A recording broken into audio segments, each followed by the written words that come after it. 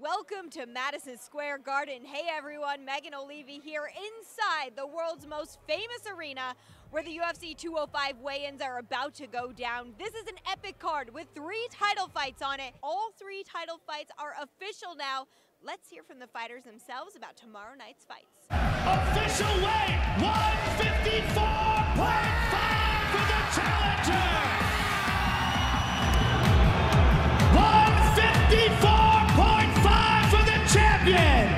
I told Dana, uh, let us let us get face to face. He was he was saying the same. Let us get face to face. And Dana prom- made us promise that we're not going to touch each other. And I said I will not touch him tonight, but I'll touch him all day tomorrow. Tomorrow night, I'm ready to go in, do my thing for my fans, everyone that's supporting me. And that's it, raise double gold. Another day, I do this every week. Ireland, stand up. We're about to do it again. These stupid mind, whatever he's doing, they work on them kind of people. They don't work on a guy like me. I've been through it all. I fought the best. This I I only look at fighting. That's it. This all this all this stuff. It's enjoyable for me. Official weight 169 for the challenger. Official weight 170 for the champion. Awesome. Good luck, you two. And I got 11 finishes in my career out of 16 bouts, you know, and, and I definitely finished most of my opponents in the UFC. Out of my six victories, five are by finish. So um, I'm going out there and I'm going for the kill. I've got one job, and that's to, to defeat the best welterweight in the world, and that's what I'm focused on. All the preparation is done.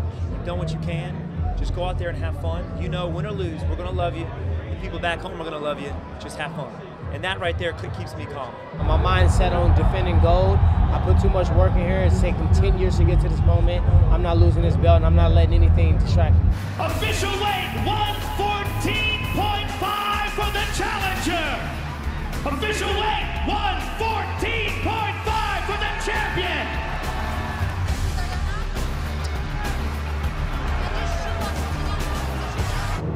She said to me something in Polish. Uh, ah, something. I'm Like even I spoke to my coach Mike Brown just a few minutes ago, and he was like, "You seems very calm and quiet." I, I was like, "I am. I will like full of energy on the stage. That's all because I see her." And tomorrow I will very, I will be very calm, very quiet till till the fight, and then I will do my job in the octagon.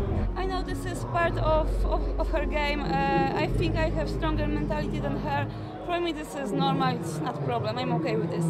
I don't have prediction for this fight. You know, I'm the champion, and you're going to hear it still after the fight. That's all. That's a wrap from the UFC 205 weigh-ins. They are about to transform the arena. The octagon will be in the center of the floor. We will see you tomorrow night for the most epic card in UFC history. For more information on all the bouts, head on over to UFC.com.